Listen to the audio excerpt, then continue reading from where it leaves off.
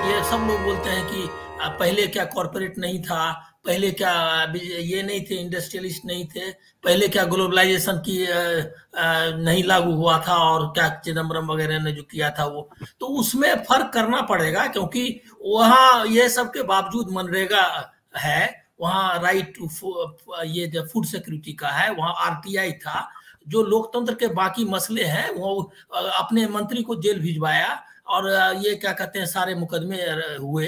तो ये जो है, ये फ़र्क करना चाहिए कि वो जो कॉरपोरेट तंत्र है, वो कॉरपोरेट नहीं चला रहा था। वो लिबरलाइजेशन का एक फोर्सेस था, जिसमें कॉरपोरेट का हिस्सा था, लेकिन वो एक लोकतांत्रिक सरकार चला रही थी। यहाँ कॉरपोरेट चला रहा है सरकार को। ये दोनों फ़र्क करना पड़ेगा। इसीलिए हम अब देखते हैं कि ये सारा कुछ खत्म हो गया।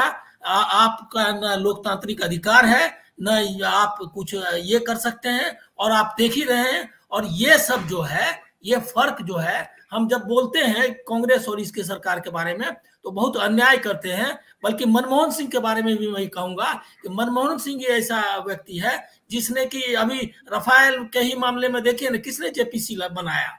और आगे ये बाकी जो जितने जो घोटाले हुए, उसमें किसने जाँच शुरू की? उन्होंने जाँच शुरू की। इन्होंने तो अगस्ता वेस्टलैंड का जाँच के बाद अभी क्या हाल किया मालूम, उनको फिर से उनका बैन उठा लिया। तो ये फ़र्क करना पड़ेगा।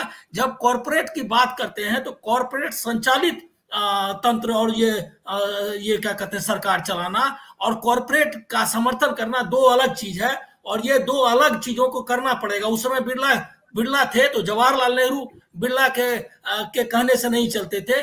बिरला जो है, उनके यहाँ कोशिश करता था। ये फ़र्क है इसको समझना चाहिए। ये मैं नहीं कह रहा कि कैप्ट उस समय कैपिटलिस्ट खत्म हो गए या कॉरपोरेट जो है चिदम्बरम के समय में नहीं थे। बस यही मैं सुधारना चाहता था।